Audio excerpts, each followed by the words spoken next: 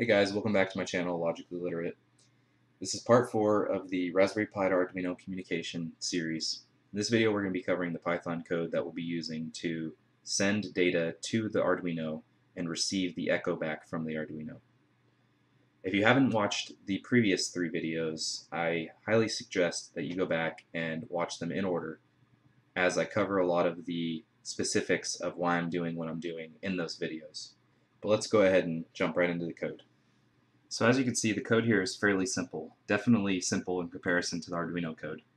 At the very top, we have four imports. We're importing the random number generation system that Arduino has, or we're importing the we're importing the random number library that Python uses.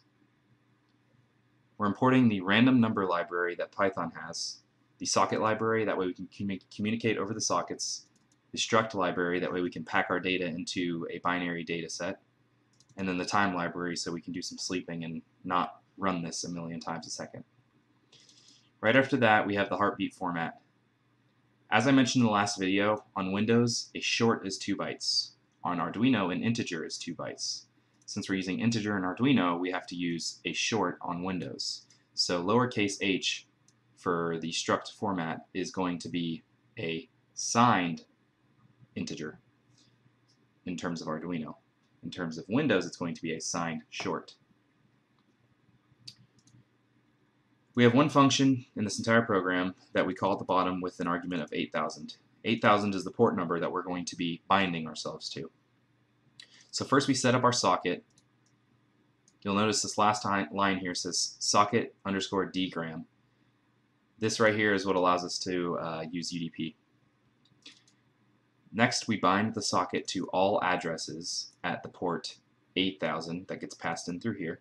Then we have a target IP address, which in the previous videos I mentioned is statically set via my router. And we have a target port number that is statically set in the Arduino code that we wrote in the last video. Next, we initialize a count to zero, and we create a while true loop. Inside of the while true loop, we grab a random value using rand int from 0 to 100, we print out I sent, and then we give it the count and the integer, or the random integer. Then we pack it using struct.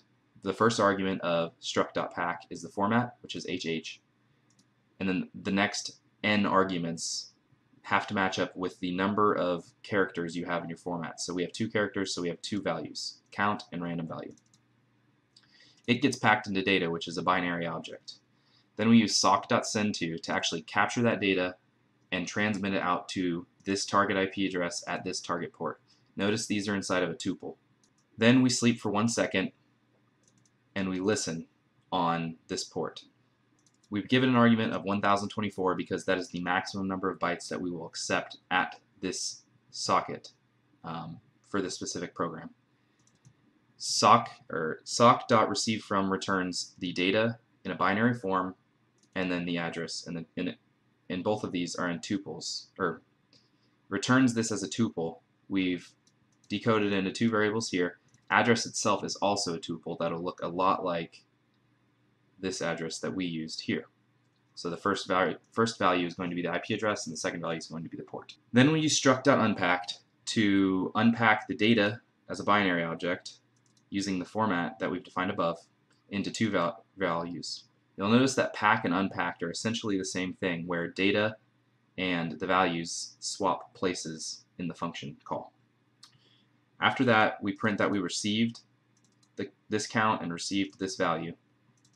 We increment count, and then we send the next one. So it's a very basic program in comparison to the Arduino program. You'll notice that essentially it's two lines of code to do what we did in about 10 lines of code in the Arduino program. This is largely the reason why I love to use sockets when I'm writing Python code. It's super easy to send data between two programs. Um, the programs can be on different computers or they can be on the same computer. It doesn't really matter. As long as you have a network between them that they can talk across, you can use sockets to communicate between two programs. If you want a high data rate, highly efficient data passing protocol, using sockets is one of the best methods in my opinion. Now, because we're using UDP, like I said in the first video, there are a lot of things we can't assure ourselves. But if we don't care that much about the data, then using sockets is a great approach, specifically using UDP. You can do the same setup here with TCP. I won't be showing that. it's a little bit more involved, slightly.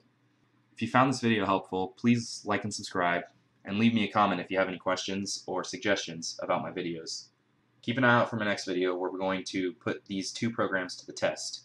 We'll run the Python program and see it send data to the Arduino and receive the packet back that it sent from the Arduino. But until next time, thanks for watching and have a nice day.